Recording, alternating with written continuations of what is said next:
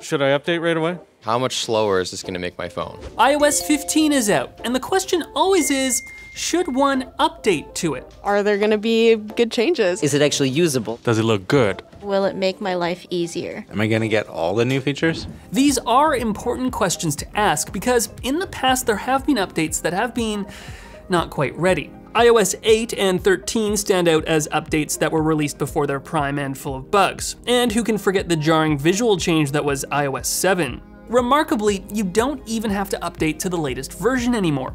Apple will still provide security updates to iOS 14 for the foreseeable future. For those who do not like change, this is actually really great. But for the rest of us who are open to change, is iOS 15 worth updating to? No. And yes, starting with the iPhone, updating this to iOS 15 will probably be fine, but I think the advice to hold off for a little while before updating still holds true here. Some bugs need to be worked out, and many app developers are still working on their updates. But there's also the fact that a bunch of features shown back in June aren't ready and will be coming later like SharePlay over FaceTime, a feature that lets you, in a group FaceTime call, synchronize content you're viewing or listening to so you can watch a TV show, listen to music, or even work out together, but not until later this fall. And then there's Maps. You can now get future routes to plan for traffic, but the biggest changes, with more detailed 3D models and typography in map and navigation view, is only available in San Francisco, New York, and Los Angeles, which leaves out the rest of us. This means I can't demonstrate Apple's new AR guided immersive walking directions, perfect for unfamiliar cities. These fancy 3D maps, along with a number of other features, also require that your device be sufficiently powerful with an A12 chip which means iPhone 10s slash R, iPad Air 3, and last year's 8th gen iPad. If you've got one of those, iOS 15 offers a lot more. Take live text, which you can use now. It's a feature that provides on-device live text recognition from the camera or any images.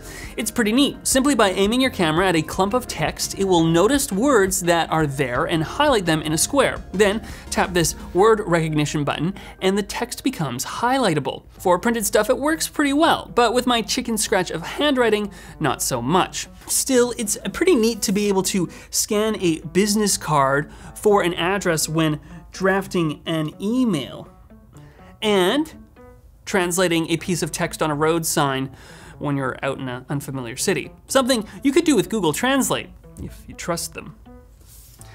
It's not just visual text recognition that the A12 affords, but auditory as well. Yes, Siri is now processed locally. That means that Siri can understand what you're saying when you don't have an internet connection. This is great for when you're deep into a road trip far away from cell service, or if you've reached the limits of your data plan. And Siri works great. The word recognition is just as good as before, and it's faster. But if you don't have internet, functionality is limited. Siri, remind me to have a group FaceTime call in three minutes. To do that, you'll need to be online. Hmm. I do have music saved on my phone. Play music. To do that, you'll need to be online. Add to my notes. Siri is having trouble doing basic tasks that can easily be done on the phone locally. To do that, you'll need to be online.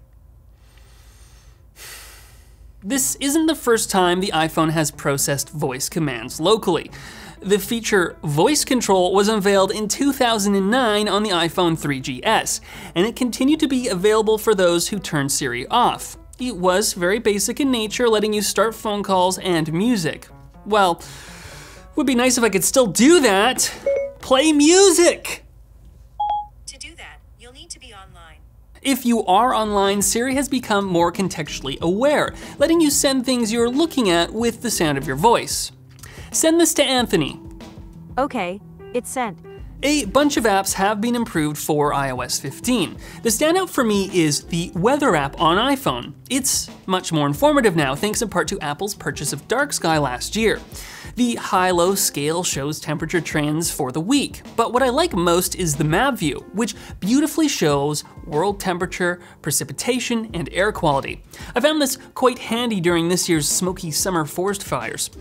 There may not be a ton of reasons to update to iOS 15, but there's certainly no harm if you do. It'll be fine.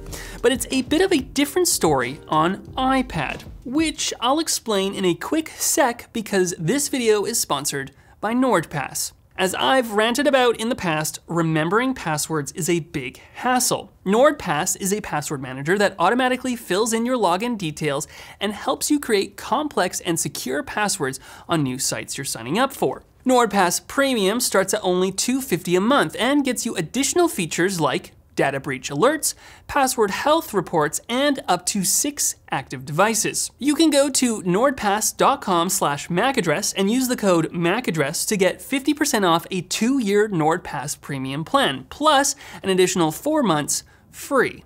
Now, back to the weather. Conspicuously absent from iPad is a weather app, despite this widget. It's really informative, but when you click on it, it leads you to the Weather Network website. Ew. Now, if you are a keyboard user on iPad, keyboard options, word prediction, shortcuts, and dictation have been moved to this floating pill shape. Before they had their own space that spanned the bottom of the screen. But now, apps that don't consider this floating shelf might end up having their lower controls covered. And some that have updated still have the gray bar, like before. So you can move this thing out of the way, but the gray bar remains, rendering this whole interface endeavor useless. Also, I found the keyboard option floats over the send button when I'm replying to Teams notifications. Get out of the way! But before you think that iOS 15 isn't ready for the keyboard, it's worth knowing that there are more keyboard shortcuts that power users can learn by holding down on their respective shortcut keys. And it's even searchable. That's pretty great, even though keyboard shortcuts are one of those things that take forever to learn but make using a computer so much faster. Stylus wielding iPad users might find Quick Notes handy. Swipe in from the bottom of the screen and from there you can scribble or type a note and depending on the app you have open underneath, you can add a link to that content. They are organized in a quick notes section in the Notes app, but ultimately are saved in your iCloud's notes list. Now, didn't I set a reminder for something right now? Oh yeah, FaceTime. Just in time for COVID's fourth wave, Group FaceTime has some neat new functionality. When you're scheduling a FaceTime call, you can now send links to people to join the call. This is great for friends and family members who are sticking stubbornly with Windows and Android. Group FaceTime also now supports spatial audio, which means that the voices of your callers should sound like they're floating in front of you. I was expecting this to work with my AirPods, but the spatial audio button is grayed out.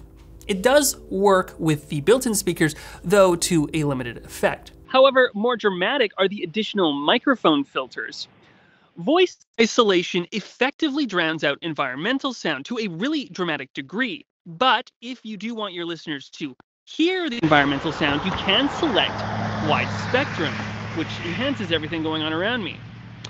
However, wide spectrum uh, didn't seem to work with my AirPods though. And since we're in the weeds here, here are some other very specific new things I noticed while using iOS 15 this week. EXIF information is in the Photos app, finally. Safari supports extensions now. Memories in the Photos app have been bolstered with music suggestions and easier ways to edit. Any photos, websites, and content from Apple's media services that was shared with you in messages will appear in those respective apps. And there's now a conversation mode in Translate for traveling. If you're running an iPhone and find the new features that are available today useful, I have no problem telling people to update now. If, however, you're a power user on iPad who uses a keyboard, I think holding off a little bit until at least the next release might help make sure apps are ready. Or just don't update at all. The choice is yours. Thanks for upgrading to this MAC address. If you haven't actually updated to iOS 15 yet, give this a like. And if you have, why not subscribe? And for those who have, I'm curious what iOS 15 features, because there's a lot of them, uh, you find really useful that I haven't mentioned yet.